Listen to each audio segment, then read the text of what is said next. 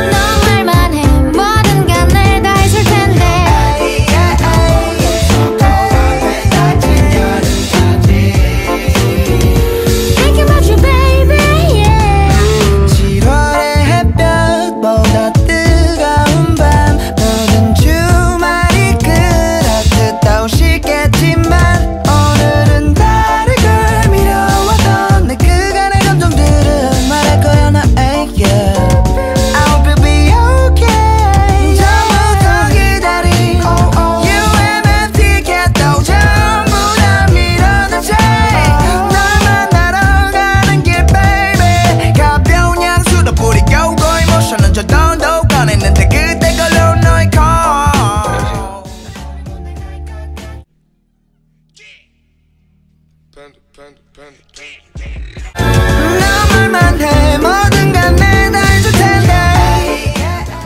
we're currently looking for Subway.